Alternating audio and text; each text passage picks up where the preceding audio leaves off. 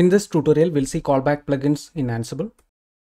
Callback plugins allows user to customize and extend Ansible's default behavior. You can use callback plugins to provide additional console output. For example, if you want to get the time information of the playbook or task, there is a built-in callback plugin available. You can use that. And if you want to format the content displayed in the std out during the playbook run, for example, if you want to convert the std out to JSON format, there is a plugin available for that. And if you want to connect with an external tool or services and send notification about playbook result, we can use callback plugin. In the later videos, we'll see how to send a Slack notification from Ansible using a callback plugin. And callback plugins can be controlled from ansible.cfg file. There are three types of callback plugins available, aggregate, std out, and notifications. Aggregate provides additional console output. If you want to get the total time taken by the playbook in the playbook stats, we can use ansible.posix.timer.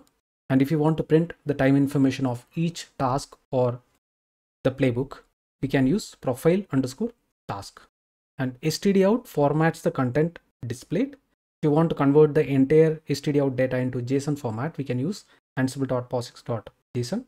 And if you want to get the minimal information in the std out, we can use dense. And notification callback sends the playbook status to an external service. Later, we'll see one example of sending Slack notification from Ansible. Now we'll go to the documentation of the callback plugin. Callback plugins enable adding new behaviors to Ansible when responding to the event. And by default, callback plugins control most of the output you see when running the command line program. In Ansible, there is a callback plugin called default available. By default, that controls the playbook execution, but we can use callback plugin to add additional output or integrate with third-party tools. And most callbacks shipped with Ansible are disabled by default and need to be enabled in your ansible.cfg file. We'll see that as well. There is a key called callbacks underscore enabled. By default, this will be commented. We'll see how to add the plugins in this list. And there is another key called stdout callback. Within stdout callback, you can activate only one plugin at a time. We'll see this also with an example. Now we'll go to the index of callback plugins. Here also we can see the types of callback plugins available, aggregate, notification, and std out. Let me open the documentation of one of the callback plugin. I'll open timer. And this callback just adds total play duration to the play stats. And in each callback plugin documentation we can see what type of plugin it is. So this is an aggregate callback. This adds additional information in the playbook output. I'll go to the list again and i'll open even profile underscore task plugin this will add timing information of individual task and overall execution. First, we'll try to enable these two aggregate callbacks. I'll go to VS Code. I'll be using this particular directory for the demonstration. And I already have a playbook available here. This I have copied from one of the previous example strategies demo. Here we are just waiting for a timeout value and this value is coming from inventory. For each host we have a variable called add delay. We'll be running on all these three nodes. After that we are just printing inventory host name. First we'll see how to get all the available callback plugins. I'll check the ansible version ansible hyphen community hyphen hyphen version. I'm using community version 9.2.0 and I'll give ansible hyphen doc hyphen t space callback hyphen l. So by default, all these callback plugins are available in the community version. First, we'll try running this without enabling any callback plugin. I will give Ansible playbook and 01. So this is waiting for two seconds for each post and this is just printing the output. And I'm using this particular ansible.config file and here I have already mapped the inventory file. We can see the inventory file here. Now we'll add the callback plugin here. I'll go to config file, search for the key. Callbacks underscore enabled. And by default, this is commented. I'll uncomment this.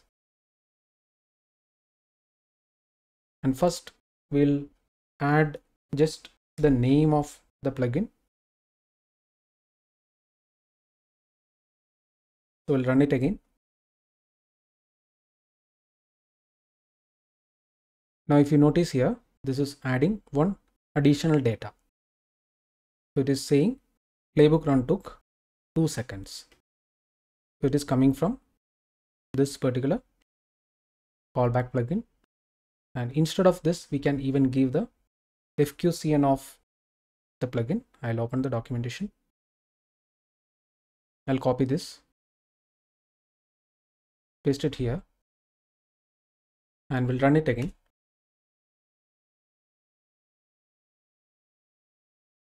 we'll get the same data again and it is always recommended to use the FQCN of the plugins and now we'll try adding even profile task I'll copy this.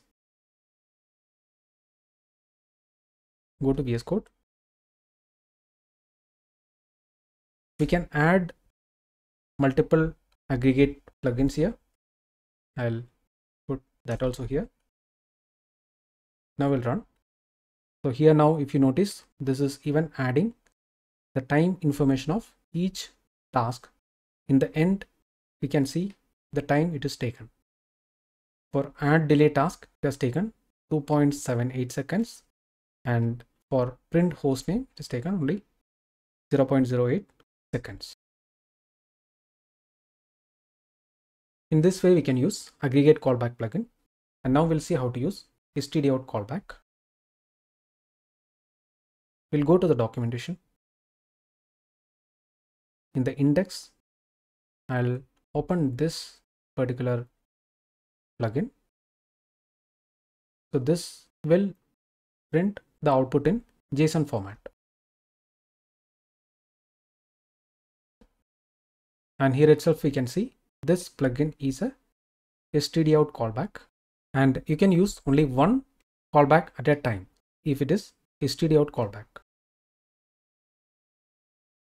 and we can even pass the additional parameters within the defaults but first we'll try without the parameters when we use slack plugin we'll see how to use the parameters i'll go to config file and I'll search for std out underscore callback. And by default, it is using default plugin. And in the documentation also, we can see the default plugin. Ansible dot built-in dot default it is using this particular plugin. We'll try to change this to JSON I'll uncomment this. We'll give JSON here, or we can even give the FQCN. And at a time, we can give only one std out callback. Let us run this.